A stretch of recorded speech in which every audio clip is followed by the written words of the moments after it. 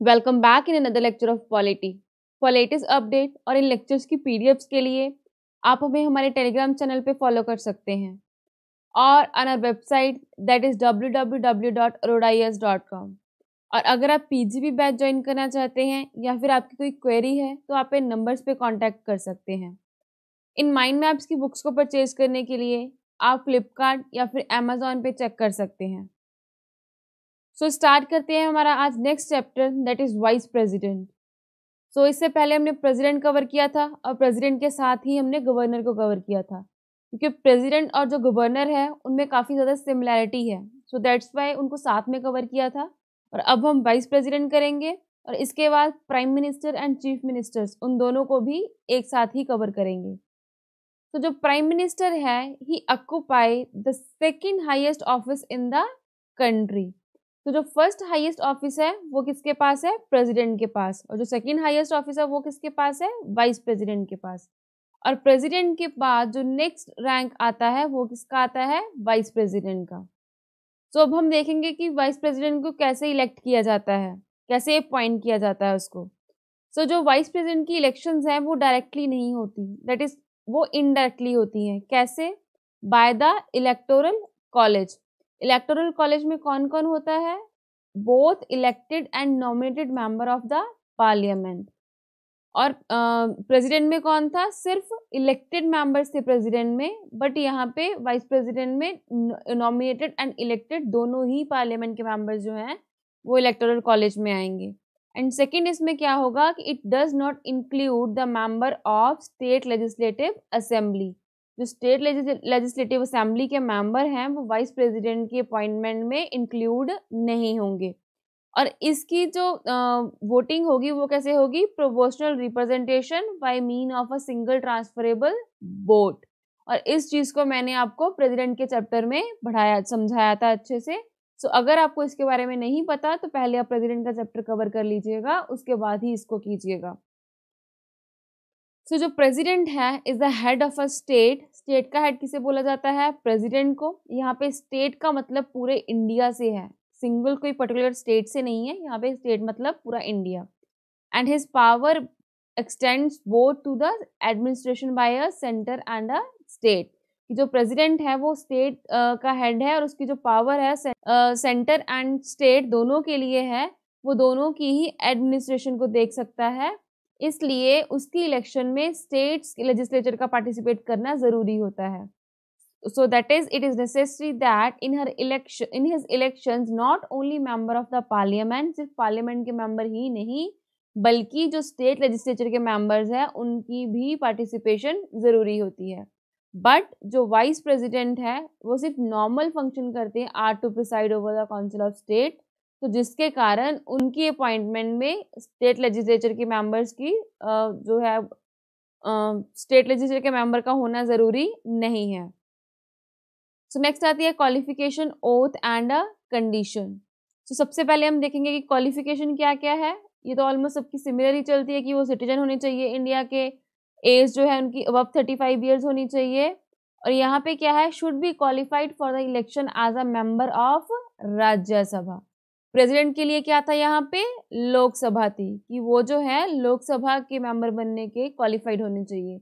But यहाँ पे क्या है कि वाइस प्रेसिडेंट में, कि जो वाइस प्रेसिडेंट होंगे वो क्वालिफाइड होने चाहिए for election as a member of a Rajya Sabha next is should not hold any office of a profit कोई भी ऑफ़िस ऑफ़ प्रॉफिट होल्ड करते नहीं होने चाहिए।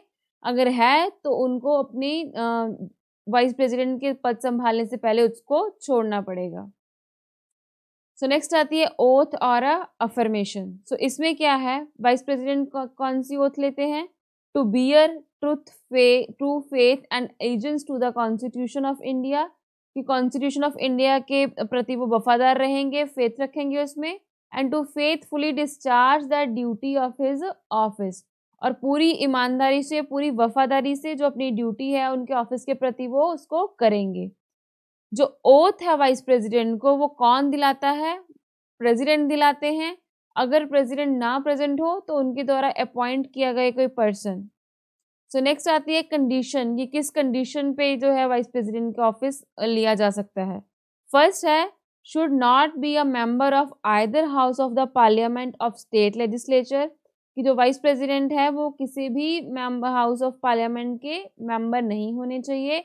अगर है तो उनको वो अपनी सीट जो है, वो छोड़नी पड़ेगी। सो so नेक्स्ट आता है should not have any office of a profit कि वो किसी भी ऑफ़िस ऑफ़ प्रॉफिट में इन्वॉल्व ना हो। नेक्स्ट आती है टर्म एंड अ वैकेंसी कितने टाइम के लिए रहेंगे और वैकेंसी कैसे होगी। फ़र्स्ट देखते हैं हम term of office term of office में क्या आएगा? कितने टाइम के लिए वाइस प्रेसिडेंट रह सकते हैं वो? पाँच साल के लिए। अगर उनको रिज़ाइन करना है तो किसको देंगे वो अपना रेजिग्नेशन प्रेसिडेंट को देंगे। और can be removed by an absolute majority of Rajya Sabha president के टाइम में क्या था कि अगर प्रेसिडेंट को रिमूव करना होता था तो आप राज्यसभा या फिर लोकसभा दोनों में से किसी में भी रेजोल्यूशन पास कर सकते थे। बट यहाँ पे वाइस प्रेसिडेंट की रिमूवल सिर्फ़ राज्यसभा में ही स्टार्ट होगी। और वो भी एब्सोल्यूट मेजोरिटी से। और जो लोकसभा है, उसको सिर्फ़ उनके साथ एग्री ही करना होगा। और इसमें भी सेम वाइस प्रेसिडेंट को चौदह दिन का नोटिस दिया जाएगा।